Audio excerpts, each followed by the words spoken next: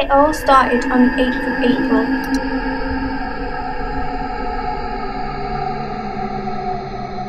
This is me, the geek of the school.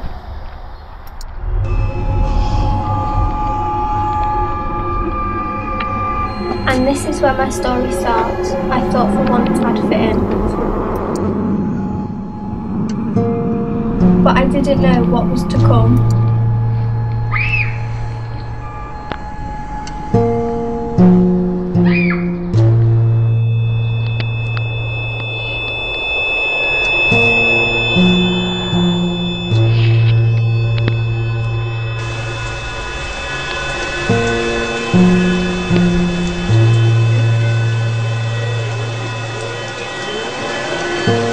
Is began.